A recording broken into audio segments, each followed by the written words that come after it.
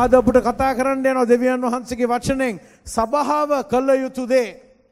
මේ 70 වෙනි අවුරුදු සමරන අවස්ථාවේදී සභාවට යම් දෙයක් තියෙනවා කරන්න. ඔබටත් මටත් දෙවියන් වහන්සේ මේ වගකීම බාර දීලා තියෙනවා. අද අපි බැලුවොත් සමහර අය කියනවා අයියෝ දැන් හරි භයානකයි තත්ත්වේ තවත් අන්ත වෙන්න යනවා. මීට වඩා අමාරු වෙන්න යනවා. මම මේ මේ දේශනාවේ මුලදිම කියන්න කැමති ඔබට දෙවියන් වහන්සේ ඔබව තෝරගත්තා. දෙවියන් වහන්සේ ඔබව ලාංකිකයෙක් හැටියට මේ රටේ තැබුවා. දෙවියන් වහන්සේගේ ආලේපය තියෙන්නේ නැහැ බිල්ඩින් වල. දෙවියන් වහන්සේගේ ආලේපය නැහැ මේ මේ මියුසිකල් ඉන්ස්ට්‍රුමන්ට් වල. දෙවියන් වහන්සේගේ ආලේපය නැහැ මයික්‍රොෆෝන් වලයි පුල්පිට් වලයි. දෙවියන් වහන්සේගේ ආලේපය නැහැ ඔය ටීවී කැමරාවල. දෙවියන් වහන්සේ ආලේපය කරන්නේ දෙවියන් වහන්සේගේ දරුවන්වයි. දෙවියන් වහන්සේගේ ආලේපය තියෙන්නේ ඔබ මතයි. ඔබ පමණ තමයි දෙවියන් වහන්සේ ආලේප කරලා ඔබව තමයි දෙවියන් වහන්සේ පාවිච්චි කරන්න සූදානම්. මම මේ දේ අද කියන්නම්. මේ 70 වෙනි සංවස්තරයේදී ඔබට මම කියන්න කැමති දෙවියන් වහන්සේ ඔබ මේ රටේ දැම්මනම් එකක් මතක තියාගන්න මේ වගේ රටක් වෙන කොහෙවත් හොයාගන්න බෑ. ලංකාව තරම් උතුම් රටක් නෑ. හැම රටේම ප්‍රශ්න තියෙනවා. පොහොසත්ම රටවල් වල ප්‍රශ්න තියෙනවා. ඒ පාරවල් වල යන්න බයයි.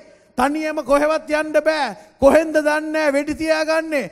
හැම රටේම ප්‍රශ්න තියෙනවා. හැබැයි දෙවියන් වහන්සේ අපිව ලාංකිකයන් කරා. සිංහල, දෙමළ, මුස්ලිම්, බර්ගර් කවුරු වුණත් අපිව මේ රටේ තනුවා. ඇයි? දෙවියන් වහන්සේට සලස්මක් තියෙන නිසා මේ රට දාලා යන්න එපා ලේසියෙන්.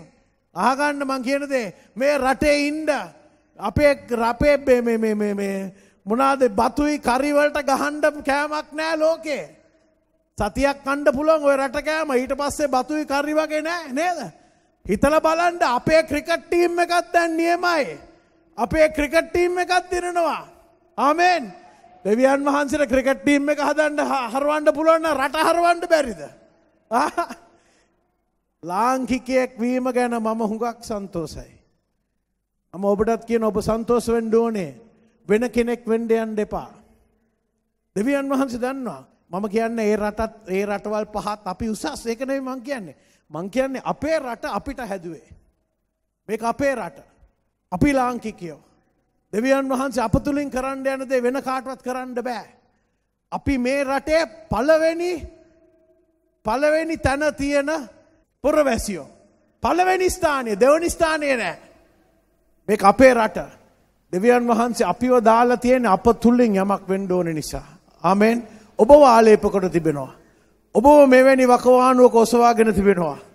දෙවියන් වහන්සේ ඔබට ආදේර කරන නිසා. කීදනෙක් දන්නවද ඒක. දෙවියන් වහන්සේට පුදුම ආදරයක් තියෙනවා දෙවියන් වහන්සේ ඔබ ගැන හුඟක් හිතලා මතලා දෙවියන් වහන්සේ පුදුම දේවල් කරන්න සූදානම්. දෙවියන් වහන්සේට ලංකාව වෙනස් කරන්න පුළුවන්. අපි අද වගේ දවසක අපේ ඉතිහාසය දිහා බලනවා. අපේ රටේ වෙච්ච දේවල් දිහා බලනකොට අපිට පේනවා සමහර දේවල් දිහා බලපුවම අපි කියන මේ රට තවත් මෙතනින් තවත් පහත් තත්වයකට වැටෙයිද සමහර අයට මතක ඇති අපේ ත්‍රස්තවාදයේ තිබුණා. ත්‍රස්තවාද කාලේ අපි බොහෝ කතා කරන්නත් අමාරු භයානක ක්‍රියාවන් දැක්කා. දැන් අපි රටේ ප්‍රශ්න වලට වඩා අපි බලනවා ලෝකේ ප්‍රශ්න.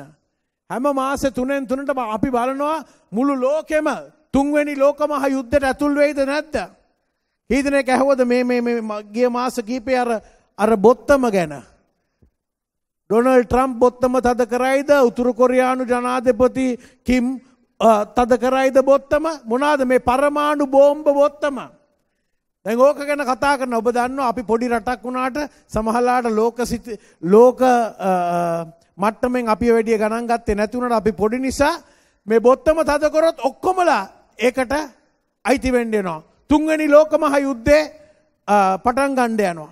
ඉතින් අපි මේවැනි වකවානුවක ජීවත් වෙන්නේ පරමාණු බෝම්බ හෙට පුපුරන්න පුළුවන්. ඒකයි මම ඔබට හැමදාම කියන්නේ ඔබේ ජීවිතේ හරි තැන තියාගන්න.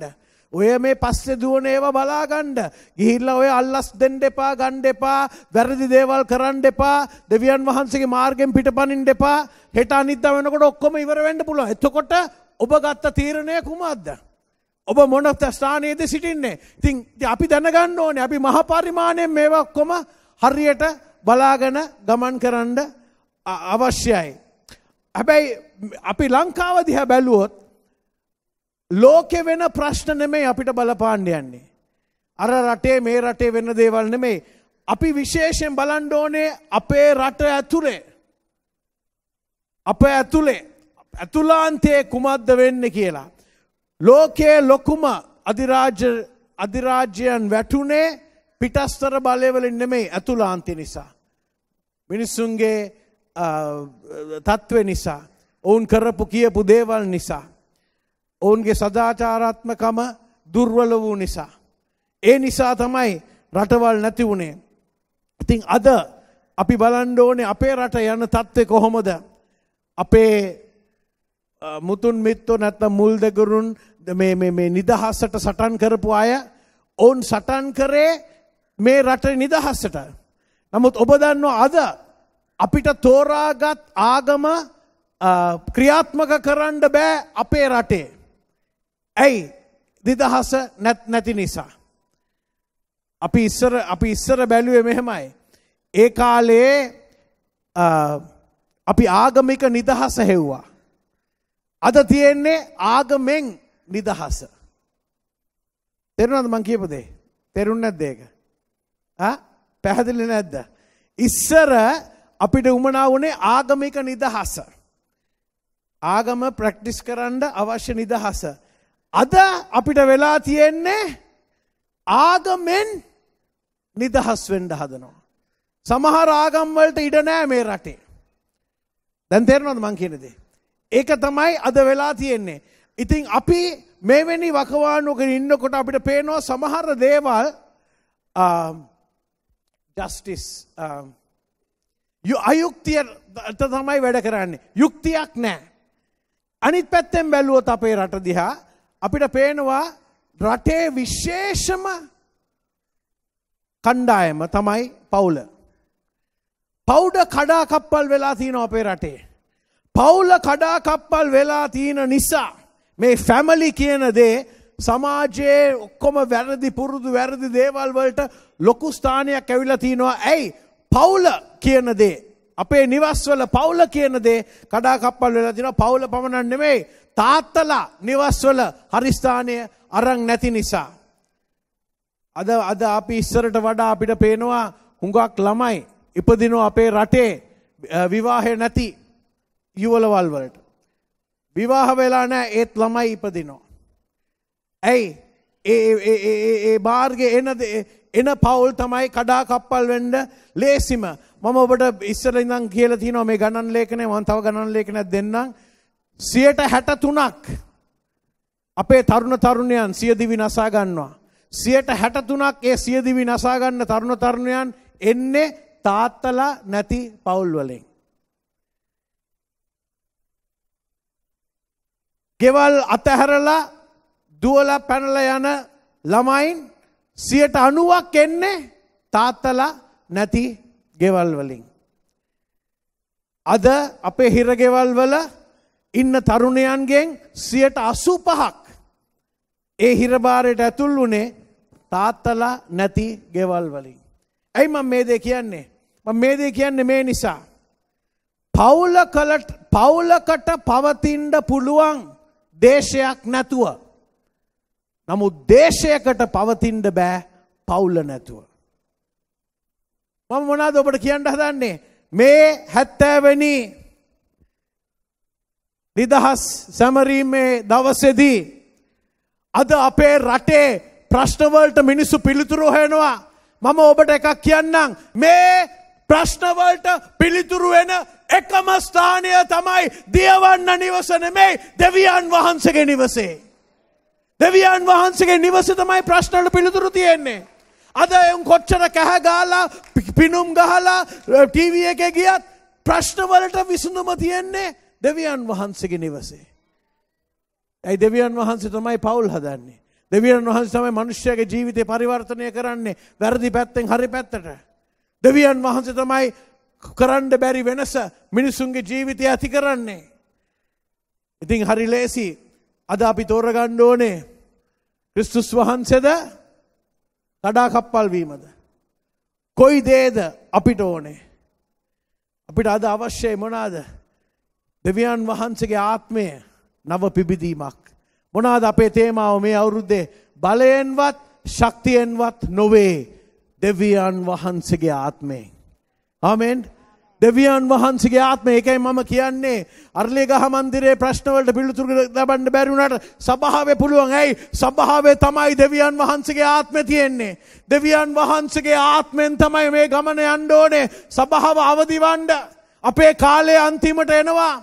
අපි දන්නේ නෑ ලෝකයන්තය කොච්චර කල් තව තියෙයිද කියලා. නමුත් ඒ කාලේ ඉන්ඩ ඉස්සලා සභාවේ කොටස සභාව කරන්න ඕනේ. අද වගේ දවසක ප්‍රශ්නය පිළිතුරු තියෙන්නේ සභාවටයි. හබකුක් අනාගත වක්තෘ මෙහෙම යාඥා කර අපි කියමු හබකුක් හබකුක් තුනේ දෙක. ස්වාමින් වහන්ස මම ඔබගේ ප්‍රවෘතිය අසා බයවීමි. ස්වාමින් වහන්ස අවුරුදු අතරතුරේ ඔබගේ ක්‍රියා කිරීම ප්‍රාණවත් කළ මැනව. අවුරුදු අතරතුරේ දැන්නුව මැනව. උදහසේදී අනුකම්පාව සිහි කළ මැනව. ශ්‍රී ලංකාවට දෙවියන් වහන්සේගේ මැදිහත්කම අවශ්‍යයි. ආමෙන්. අපි දැක්ක කොහොමද සුනාමිය ආපුහම සුනාමියේ විනාඩි 3ක් ඇතුළතදී 50000ක් අපේ සෙනග මැරුණා. වැඩිපුර ළමයි සහ බබාලා. විනාඩි 3කදී. right? 50000කට ආසන්න සෙනගක් නැති වුණා. ඒ කාලේ අපේ සභාවන් පෙරුණා. ඔබට මතකයි මේ යුද්ධේ ගිනි වගේ යනකොට මිනිස්සු මැරෙනකොට බෝම්බ යනකොට මිනිස්සුන් දෙවියන් වහන්සේ හොයන් ආවා. ඇයි ඔවුන්ගේ සැලසුම් ඔක්කොම කඩාකප්පල් වෙනකොට අසමත් වෙනකොට ඔවුන්ට දෙවියන් වහන්සේ වුණාමන නමුත් අද ඔවුන්ට දෙවියන් වහන්සේ අමතක වෙලා. අද දෙවියන් වහන්සේ හොයාගන්නත් බෑ. අපි යාඥා කරන්න ඕනේ ලංකාවට දෙවියන් වහන්සේ කවුද කියන එක නැව නව පිබිදීමක් මේ රටට එයි කියලා. අපිට අවශ්‍යයි ආත්මික පිබිදීමක් ලංකාවේ කීදනෙ කාමෙන් කියනවද. කොහොමද අපි මේකට යාඥා කරන්නේ කොහොමද මේක ක්‍රියාත්මක කරන්නේ. කොහොමද දෙවියන් වහන්සේ මේ රටේ ප්‍රශ්නට පිළිතුරු දෙන්නේ. අපි තමා හොඳට දන්න පදයක් බලමු. දෙවනි ලේකම් හතේ දා හතර බලමු. මාගේ නාමය දරන මාගේ සෙනග යටත් වී යාඥා කර මාගේ මුහුණ සොයා තමුන්ගේ නපුරු මාර්ග අත්හැරියොත් මම ස්වර්ගයේ සිට අසා ඔවුන්ගේ පව් කමා කොට ඔවුන්ගේ දේශය සුව කරන්නෙමි. කොහොමද අපි යාඥා කරන්න ඕනේ? මොනවාද අපි කරන්න ඕනේ? අපි ආපහු කියමු. ඔක්කොමලා ශබ්ද නගා. දෙවනි ලේකම් 714 මාගේ නාමය දරන මාගේ සෙනග යටත් වී යාඥා කර මාගේ මුහුණ සොයා තමුන්ගේ නපුරු මාර්ග අතහැරියොත් මම ස්වර්ගයේ සිට අසා ඔවුන්ගේ පව් කමා කොට ඔවුන්ගේ දේශය සුව කරන්නෙමි. මෙන්න රෝගී රටකට සුවය ලැබෙන ආකාරය. මෙන්න බලන්ඩ මොනාද මෙතන කියන්නේ. මෙතන පැහැදිලිව කියනවා මගේ නාමය දරණ මගේ සෙනක. එහෙමයි පටන් ගන්නේ. දෙවියන් වහන්සේ ඇඟිල්ල දික් කරන්නේ දියවන්නේ නිවසට නෙමෙයි. දෙවියන් වහන්සේ ඇඟිල්ල දික් කරන්නේ පාර්ලිමේන්තුවට නෙමෙයි. දෙවනිය දෙවියන් වහන්සේ ඇඟිල්ල දික් කරන්නේ අරලියාගහ මන්දිරයට නෙවෙයි. දෙවියන් වහන්සේ ඇඟිල්ල දික් කරන්නේ මාගේ නාමය දරන මාගේ සෙනගටයි. සභාවටයි. ඒකයි මං කිව්වේ ගෝල් පේස් එකේ. මේ ප්‍රශ්න විසඳන්න බෑ. මේ ප්‍රශ්න විසඳන්න පුළුවන් සභාවේ. දෙවියන් වහන්සේ ඔබටයි මටයි කියනවා මගේ දරුවනි. නුඹලා තුලින් තමයි මේ දේ වෙන්න ඕනේ. නුඹලා මොනවාද කරන්න යන්නේ ලංකාවේ සුවය වෙනුවෙන්. නුඹලා මොනවාද කරන්න යන්නේ? මට ආණ්ඩුකාරයා මොනා කරත් කමන්නේ මගේ සභාව මගේ දරුවන් ඔබ කුමක්ද කරන්නේ. දෙවියන් වහන්සේ ඇඟිල දික් කරන්නේ දෙවියන් වහන්සේගේ ගෘහයට. අමෙන් ආමෙන් දෙවියන් වහන්සේගෙන අපි අපේ නපුරු දේවල් වලින් හැරෙන්න ඕනේ. අපි අටහත් වෙන්න ඕනේ.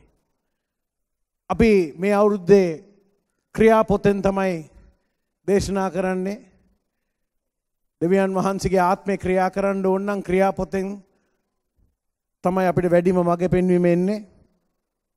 අද මං ඔබට කියනවා ක්‍රියා 12ට හරවන්න ඔබේ බයිබල් වල. ලියාගන්න ක්‍රියා පොතේ 12 වෙනි පරිච්ඡේදය. ජයග්‍රහයික යාඥාව ගැන අපි කතා කරන්න යනවා.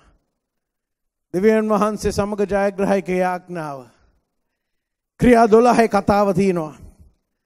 ක්‍රියාවේ ක්‍රියා 12 සභාව අලුත් සභාවක් ලාබාල සභාවක් අත්දැකීමෙන් වෙදි අත්දැකීමක් නැති සභාවක් සභාවේ පාස්ටර්ස්ලා දෙන්නෙක් හිටියා.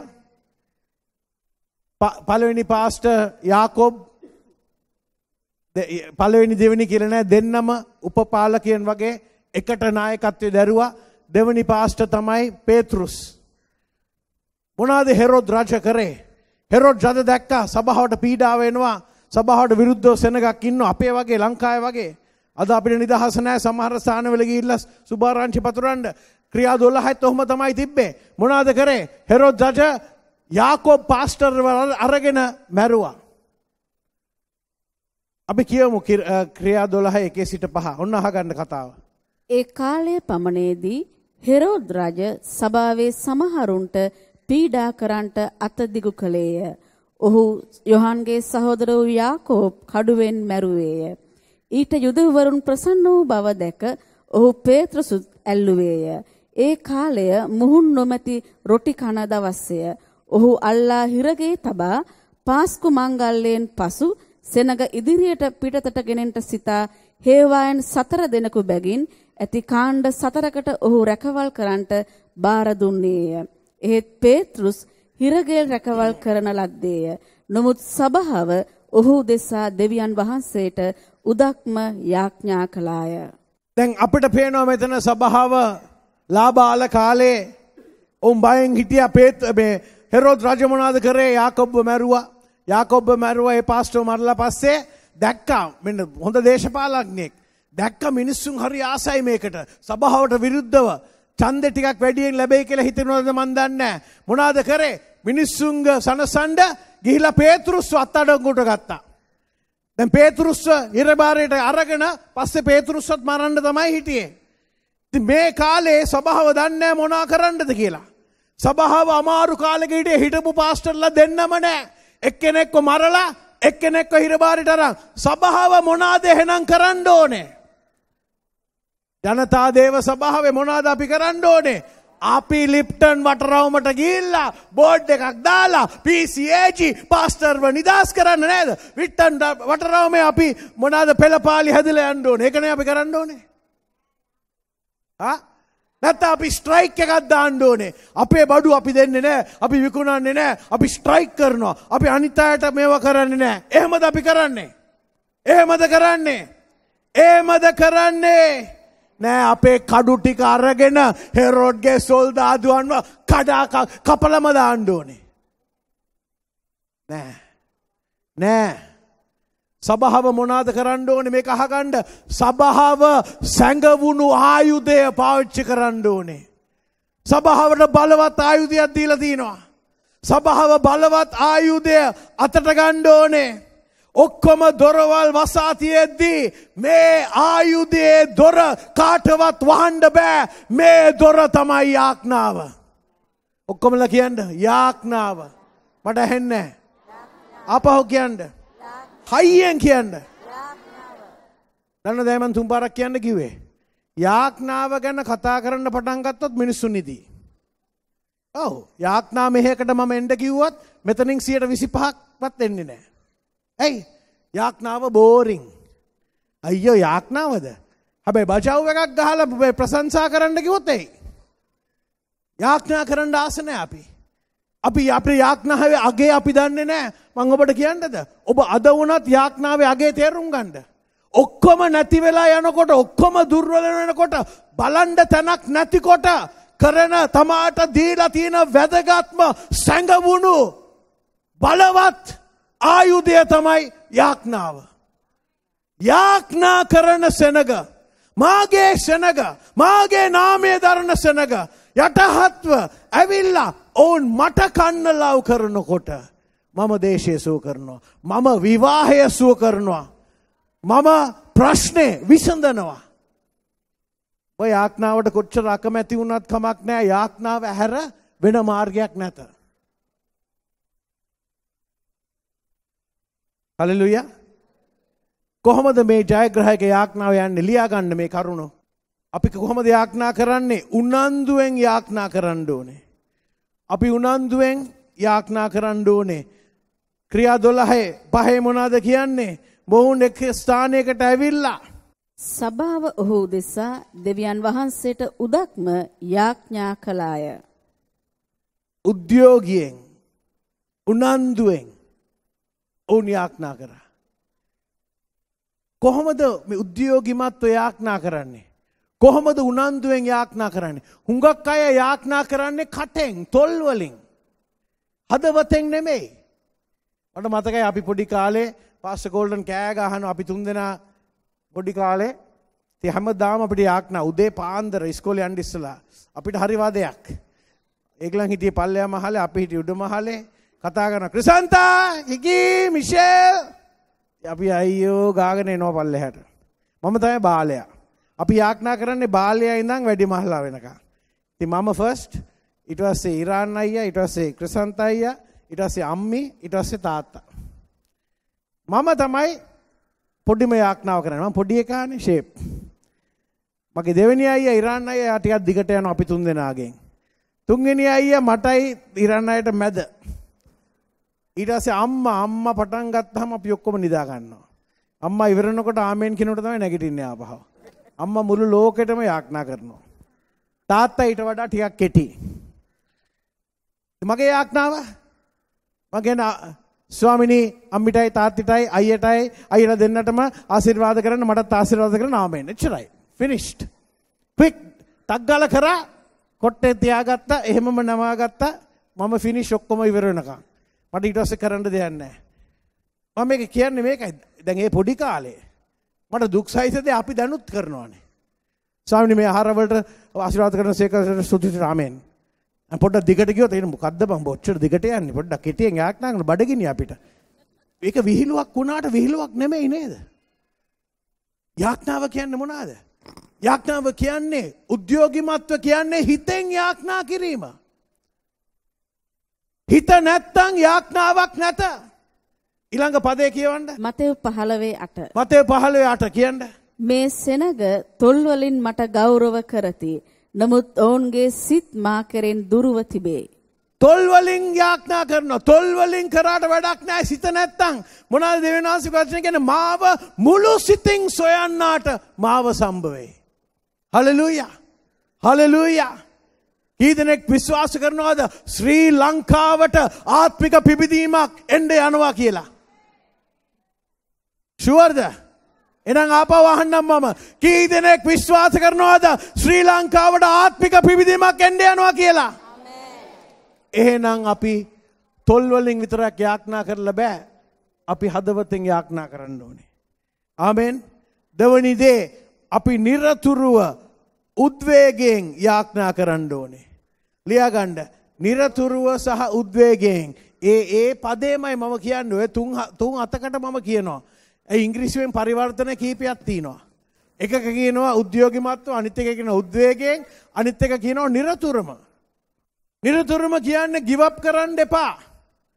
සමහර අය දරුවා ගැන පටන් ගත්ත යාඥා කරන්න දැන් අතහැරලා ඉවරයි. තමාගේ විවාහය ගැන යාඥා කරලා පෞල් ප්‍රශ්න ගැන දැන් අතහැරලා ඉවරයි. නිරතුරුම යාඥා කරන්න මොවුන් යාඥා කරා. නොකඩවා නිරතුරුම උද්‍යේගවත්ව මොවුන් යාඥා කරා. හලලූයා. හලලූයා. කියමු ඒක ආපහු ක්‍රියා 12 පහ. එහෙත් පේතෘස් හිරගේ රැකවල් කරන ලද්දේය. නමුත් සභාව ඔහු දෙසා දෙවියන් වහන්සේට උදක්ම යාඥා. යාඥා කරා නොකඩවා යාඥා කරා. සමහර යාඥා කරන්නේ මෙහෙමයි. අනේ ස්වාමිනී පාස්ටර්ව පීටර්ව පුළුවන් නම් රිලීස් කරන්න නැත්තම් මොන හරි කරන්න. අනේ ස්වාමිනී මේක ප්‍රශ්නේ තියෙනවා මට දැන් යාඥා කරලා එපාලා අනේ ස්වාමිනී ඔබ වහන්සේ කරන දෙයක් කරන්න. ඔව්. බොරුද මම කියන්නේ? ඒක යාඥාවක් නෙමෙයි. ඒක දෙඩවිල්ලක්. යාඥාව එන්නේ මුළු හිතෙන්ම. අනේ ස්වාමිනේ මාව මේ ගේන්ඩ කිව්ව මට මේ ප්‍රෑමීටිම්මට මම ආවා වර්ෂිප් ටීම් එකට කිව්ව පැයක් යාඥා කරන්න කියලා. ඉතින් අපි යාඥා කරනවා. දැන් විනාඩි 15යි කියලා තියෙන තව 45ක් තියෙනවා. ඒක යාඥාව නෙමෙයි. තමා මේ වෙලාව තියාගෙන අයියෝ මම අද පැයක් කරන්න ඕනේ. පැයක් කරන්න ඕනේ කියලා වැඩක් නැහැ. මුළු හිත නැත්තම් යාඥාවක් නෙවෙයි. තමාට පිළිතුරු හම්බෙන්නේ හිතකින් නොවෙයි නම් යාඥා කරන්නේ හිතකින් නොවෙයි පිළිතුරුත් හම්බ වෙන්නේ. තමා මනින මිම්මෙන් තමයි තමාට මැනෙන්න යන්නේ. ඉතින් අපි යාඥා කරනකොට අපිට කියලා තියෙනවා පැහැදිලිව කොහොමද අපි යාඥා කරන්න ඕනේ?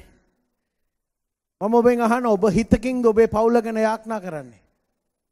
ඔබ හිතින්ද යාඥා කරන්නේ. කිනෝ ස්වාමිනී පවුලේ ප්‍රශ්නේ කෙසේ වෙතත් මම දන්නවා ඔබ වහන්සේ මොන හරි කරන්න යනවා. ඔබ එහෙම දෙයක්නා කරන්නේ. ඔබේ දරුවන් ගැන ඔබ එහෙම දෙයක්නා කරන්නේ. ඔබේ සභාව ගැන ඔබ හිතකින්ද යාඥා කරන්නේ. ඔබේ රට ගැන ඔබ හිතකින්ද යාඥා කරන්නේ.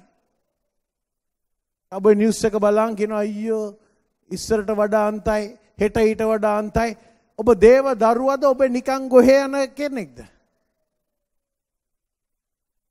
ඔබට ආධිපත්‍යයක් දීලා තියෙනවා. කීදෙනෙක් කාමෙන් කියනවද? තුන.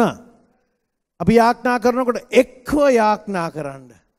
එක්ව එක එක්කෙනා සමග එතන ලොකු බලයක් තියෙනවා. එකට යාඥා කිරීමේදී සමහර අය තනියම යාඥා කරලා ඔබ බංකොලොත් වෙලා ඉන්නේ ගේන්න තව කෙනෙක්ව. තව කෙනෙක් එක්ක යාඥා කරන්න. එකට එකහුව වෙන්න.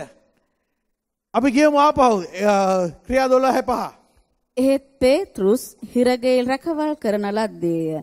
නමුත් සභාව ඔහු නමුත් සභාව ඔවුන් එකට යාඥා කරා ඔක්කොමලා එකට. ඔවුන් යාඥා කරා. එකට අපි එකට තීරණය කරන් එකම කැක්කුමකින් එකම බරකින් අපි යාඥා කරනකොට දෙවියන් වහන්සේ පුදුම දේවල් කරනවා. කී දෙනෙක් ආමෙන් කියනවද? අටේ දහනම එලියා ගණ්ඩ මතෙව් දහටේ දහනමේ මෙහෙම කියනවා. නැවතත් නුබලාට කියමි පොළොවේදී නුබලාගෙන් දෙදෙනෙක් තමුන් ඉල්ලන යමක් ගැන එක්සිත් වන්නේ නම් ස්වර්ගයේ සිටින මාගේ පියාණන් වහන්සේගෙන් ඒ දේ ඔවුන්ට ලැබෙන්නේය. හලෙලූයා! හලෙලූයා! දෙදෙනෙක් එකහු වෙනවා නම් එකම බර එක්ක යාඥා කරනවා නම් දෙවියන් වහන්සේ වෙනසක් ඇති කරන්න අපි ලංකාව ගැන එකට යාඥා කරොත් මේ හැත්තෑවැනි අවුරුද්දේ නිදහස ලබා අපි යන මාර්ගයේ. සමහරය ගෙන අපරාධ නිදහස ලැබුණේ සුද්ද හිටිය නම් මෙහෙම වෙන්නේ නෑ. නේද? එම හොඳ මම හල තියන සිහොඳ සිින්දුවකුත් තියෙනවා. නේද? උනාද ලංකාවේ වෙන දේවල් ගැන පම්පෝරි ගහල වැඩක් නෑ. සුද්දා ගියාට පස්සේ මේ රටට වෙච්ච දෙයක් නෑ. සුද්දා නොහිටියනම් තාමත් ගමන පයින්. හැබැයි අපිට මොනවද කියන්න පුළුවන්? අපිට කියන්න පුළුවන් මේකයි. අපි මුළු හදවතෙන්ම අපි යාඥා කරනකොට මේ 70 වෙනි අවුරුද්දේ අපි ලොකු වෙනසක් දකින්න යනවා.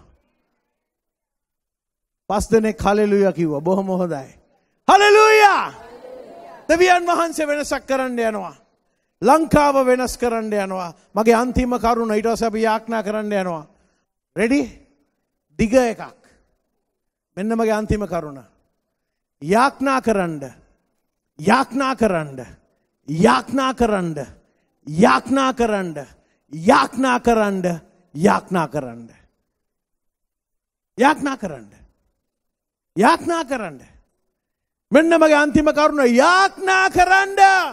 ඔබට හිතෙන හිතුනත් නැතත් ඔබේ ඇදහිල්ල ලොකු වුණත් කුඩා වුණත් ඔබේ හැඟීම් හොඳ වුණත් හොඳ නැති වුණත් ඔබට යාඥා කරන්න හිත නැති වුණත් යාඥා කරන්න.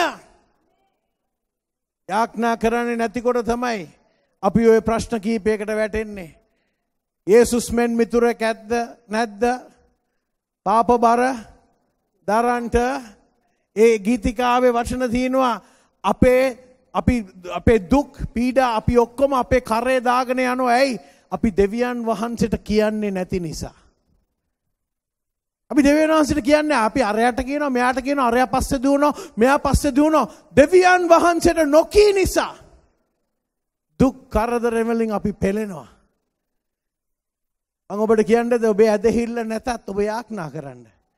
ඔබ විශ්වාස කරේ නැතත් යාඥා කරන්න මම වරදවා තේරුම් ගන්න එපා. ක්‍රියා 12 මේ කතාව දිහා බලපුවාම හයේ ඉඳන් අන්තිම දක්වා කරුණා කරලා ගෙදර ගියාම ක්‍රියා 12 කියවන්න. මම අද ක්‍රියා 12 ඉවර කරන්න යනවා. ක්‍රියා 12 තමා කියෙව්වොත් තමාට තේරෙයි මෙන්න මේ සභාව බයෙන් කාම්බරයක් ඇතුළේ ගෙයක් ඇතුළේ ලොක් කරගෙන ඔවුන් යාඥා කරනවා ඔවුන්ගේ එක පාස්ට කෙනෙක් මරලා දෙවනි පාස්ට වත්තඩංගොට අරන් ඔහුවත් මරන්න යනවා සභාව දන්නවා උන්ට බලයක් නැහැ හෙරොද්ද තමයි බලය තිබ්බේ හෙරොද් රජ තමයි ජයග්‍රහයි හෙරොද් තමයි පුළුවන්කාරකම් කාරයා මොවුන්ට මුකුත් තිබ්බේ නැහැ. ඒත් මොවුන් යාඥා කරා. මොවුන් යාඥා කරා මොවුන්ට ඇදහිල්ල තිබුණේ නැහැ. මොවුන්ට විශ්වාසයක් තිබුණේ නැහැ. මොවුන් පරාජිතව ඉන්නේ. හැබැයි එක දෙයක් කරා මොනවද කරේ? මොනවද කරේ? මොනවද කරේ? මොනවද කරේ? යාඥා කරා. ඔබේ හැඟීම් කෙසේ වෙතත් යාඥා කරන සමහර අය යාඥාව නතර කරලා තියෙන්නේ. ඕපා දූපා වැඩි වෙලා යාඥාව නැති වෙලා. නෑ යාඥා කරන්න. මොවුන් යාඥා කරා. මොවුන්ට ඇදහිල්ල තිබුණේ නෑ. මම ඔබට පෙන්වන්නම් තා මොහොතකින්. මොවුන් යාඥා කරා. මොවුන් යාඥා කරනකොට දේවදූතයා ආවා පේතෘස් හිටපු හිරගේට. දැන් හොඳට අහගන්න පේතෘස් හිටියේ කූඩුවේ. හිර කූඩුවේ වහලා හිටියේ දන්වැල් වලින් බැඳලා. දේවදූතයා ආපුවාම දංවැල් බිම වැටුණා. ඔව් කූඩුවෙන් එළියට එනකොට දේවදූතයා කිව්වා දාගන්න සූට් එක අපි යන්න යනවා. මුර පොරවල් හතරක් තිබුණා. මුර පොළවල් හතරක්. එක මුර පොලක පොලක සොල්දාදුවන් හතරයි. දෙවනි එකේ හතරයි. තුන්වෙනි එකේ හතරයි. හතරවෙනි එකේ හතරයි. සොල්දාදුවන් 16 දෙනෙක් හිටියා. හොඳට අහගන්න. ඔබ ඉන්නේ පරාජිත තත්ත්වයේ ඔබට ගැලවෙන්න බෑ. ඔබ කියනවා පාස්ටර් ඔක්කොම සුනේ සුන්. මට ඔළුව උස්ස ගන්න බෑ. පවුල ඉවරයි. දැන් දික්කසාද වෙන්න යන්නේ. දරුවා ගියා ගියා ගියාමයි. කුඩු තමයි රජ. මට බෑ මුකුත් කරන්න. මේ මුදල් ප්‍රශ්නේ බේරෙන්න බෑ. මුර පොරවල් හතරයි. සොල්දාදුවන් 16යි. සභාව යාඥා කරා. දුර්වල යාඥාවක්. ඇදහිල්ල නැති යාඥාවක්. දේවදූතයාව. පේතෘස්ගේ දංවල් වැටුණා. පේතෘස්ට කිව දාගණ්ඩ කෝට්ට එක අපි යමු ඇවිද්ද පල්ලවෙනි මුරපොලේ කොම නිදී දෙවනි මුරපොලේ නිදි තුන්වෙනි මුරපොලේ නිදි හතරවෙනි මුල පොලේ ඔක්කොම නිදී. ඊතනෙ අපේ සුපර් මාකට් වලට ගිහිල්ලා තියනවද? නැත්තම් ඔය එයාපෝට් එක ගියාම අර දොරවල් තියනවනේ මෙහෙම වැහෙන දොරවල්. හරිද? අපි ආපුවහම මොනවද වෙන්නේ? ඒ දොරවල් ගාලා ඇරෙනවා. අපි යනවා ගල පිටිපස්සේ වැහෙනවා. නේද? දන්නවද ඔය ඔය මේ මේ මේ මේ මේ shopping mall වල එහෙම ඔය දොරවල් එන්න ඉස්සලා දන්නවද පේතෘස් හිදර ගෙදරෙන් එනකොට මුරව පොරවල් හතර ඉවර වෙලා යකඩ ගේට්ටු ගාට ආපුවම ගාලේ අතර ගේට්ටු ඇරුණා පේතෘස් ගිහලා ගාලේක වැහුණා ඒ කාලේ තමයි ෆස්ට්ම ටයිම් ඒ වගේ දොරවල් තිබ්බේ. ඒ දොරවල් අරුණේ ඒ කාලේ විදුලි බලය තිබෙත් නෑ. නමුත් ඒ කාලේ ශුද්ධාත්මයන් වහන්සේගේ බලය තිබ්බා. ඒකයි වෙනස. ශුද්ධාත්මයන් වහන්සේගේ බලයෙන් දොර ඇරියා. පේතුරුස් ඇවිද්දා. විදුලි බලය තිබෙත් නෑ. දෙවියන් වහන්සේ ක්‍රියා කරා. ඔන්න සභාවේ තත්ත්වය මම කියන්නම්. යාඥා කරන්න බය අය ඇදහිල්ල නෑ කියන අය මේක අහගන්න. පේතෘ සැවිල්ලා ඒ ගෙදරට ගියා මොවුන් යාඥා කරපු ගෙදර දොරට තට්ටු කරා. රෝඩා කියලා කුඩා කෙල්ලෙක් දොර ඇරියා. දොර ඇරලා බැලුවා පේතෘස් හම් මේ පේතෘස් ඇවිල්ලා රෝඩ දොර වහලා තමයි ආපහු ඇතුළට ගියේ. පේතෘස් තාම එළිය හිර වෙලා. ඇයි කුඩා දැරිය දොර වහලා කියලා ප්‍රෑ මීටින් එකේ ඔක්කොම ප්‍රේ කරනවා. රෝඩ කියනවා මේ පේතෘස් ඇවිල්ලා පේතෘස් ඇවිල්ලා මේ කැකෑනොක හිටපම් පොඩි කෙල්ල පෙන්නද අපි යාඥා මෙහෙයක්. අපි යාඥා කරනවා පේතෘස් අපි දන්නවා මුකුත් වෙන්නේ නැති බව ඒත් අපි යාඥා කරනවා. අපිට කිසි ඇදහිල්ල නැහැ ඒත් අපි යාඥා කරනවා. කැනොක හිටපන් ඔබ පොඩි එකා. නෑ පේතෘස් පේතෘස් සට්ටු කරා. ඔවුන් ගිහිල්ලා දොර ඇරියම පේතෘස් නිදහස් වෙලා එතනට ආවා. මම කියන්නේ ඇදහිල්ල තියන්න එපා ඇදහිල්ල අවශ්‍යයි. මේක අහගන්න ඇදහිල්ල නැතුව දෙවියන් වහන්සේ ප්‍රසන්න කරන්න බෑ. ඇදහිල්ල නැතු මේ ගමන යන්න බෑ නමුත් සමහර දවස් තියෙනවා අපිට ඇදහිල්ල හරි අමාරුයි. අපිට විශ්වාස කරන්න අමාරුයි. අපිට කෙලින් හිටගණ්ඩ බෑ ආත්මිකව අපේ දෙවියන් වහන්සේ ඒත් අපේ දුර්වල යාඥාව නසනවා. කීදනෙක් අත උස්සල හලලුය කියන්න පුළුවන්ද. අපේ යාඥාවන් දුර්වලෙන්ට පුළුවන් අපිට ඇදහිල්ල නැතිවෙන්න පුළුවන්. දෙවියන් වහන්සේ අපේ දුර්වල තත්ත්වය ඉන්න අවස්ථාවේදී. දෙවියන් වහන්ස අපේ යාඥාවන් අහනවා. හලලුයා ඔබට දීලා තියනෝ දෙවියන් වහන්සේ රහස්සි ගත පුදුමාකාර ආයුධයක්. සභාව කරුණා කල්ලා ඔය ආයුදේ පාවිච්චි කරන්න පටන් ගන්න. දන්නවද මේ පරිච්චේදේ පටන් ගන්නේ හෙරොද් රජගේ බල සම්පන්නකම් ඔහු පේතෘස් මේ යාකොබ්බ මැරුවා පේතෘස්ව හිරේ දැම්මා ඔහු පීඩා දුන්න සභාවට හෙරොද් රජ තමයි ජයග්‍රහයිකය හිටියේ. නමුත් මේ පදය මේ පරිච්චේදය අන්තිමට දොළොස්වනි පරිච්චිද අන්තිමට හෙරොද් ගිහිල්ලා ලොකු කතාවක් කල්ලා මනුස්්‍යයන් හෙරොද්දුව වර්ණනා කරා. හෙරොත් දෙවියන් වහන්සේට සතු වර්ණාව ගත්තා දෙවියන් වහන්සේ හෙරොද්ද එවෙල්ලම නැති කරා. ඉතින් මේ පරිච්චය පටන් ගන්නේ යාකෝබ් මැරිලා පේතුරු සත්තාඩංගුවේ හෙරොත් තමයි මොනාද මේ ජයග්‍රහයිකය. හැබැයි පරිච්චේද ඉවර වෙන්න හෙරොත් මැරිලා පේතෘස් නිදහස් දෙවියන් වහන්සගේ වචනය තමයි ජයග්‍රහණය ලබන්නේ. කොහොමදේ තත්ත්ව වෙනස් වනේ. සභාවක් දුර්වලව හරි යාඥා කරපු නිසා.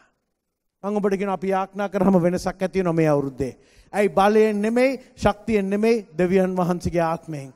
ආත්මේ ඔබේ ඔබේ විවාහයේ ඔබේ ප්‍රශ්නේ ඔබේ දරුවන් එක්ක ඔබේ මුදල් ප්‍රශ්නේ ඔබේ රෝගේ ඔබ ඔබ විඳින ඕන දෙයක්. ඔබ මුහුණ දෙන ඕන දෙයක් මැදින් යන්න ඔබ යාඥාවෙන් ගියොත් ඔබ ජයග්‍රහයෙක් වෙන්න යනවා මතක තබා ගන්න. දෙවියන් වහන්සේ සියල්ල හමාරයි කියනකම් මුකුත් හමාර නැත. හලලුයා. අසල්වාසට හැරල කියන්න දෙවියන් වහන්සේ හමාරයි කියනකං බයවෙන්ඩ එපා. ඔබේ ජීවිතය මුකුත් හමාර නැත. අපි යාක්ටනා කරන්න යනවා. කීදනෙක් විශ්වාස කරනවද අපි යාඥා කරහම දෙවියන් වහන්සේ අප යාඥාව නසන්ඩ යනවා කියලා. කීදනෙක් විශ්වාස කරනවද උඩුමහල කීදනෙක් විශ්වාස කරනවාද. අපි අතුස්සුන සිරදනාම නැගිටින්ට. අපි යාඥා කරන්න යනවා. අපි යාඥා කරන්න යනවා. ඔබ විශ්වාස කරන්න. විශ්වාස කරන්න. දෙවියන් වහන්සේ කරන්න යනවා පුදුම දෙයක්. දෙවියන් වහන්සට කරන්න බැරි දෙයක් නෑ. අපි ඔක්කොම ලැස් වසා ගමු. අපි ඔක්කොම ලැස් වසා ගමු. ඔක්කොමල හිස්නමා ගමු.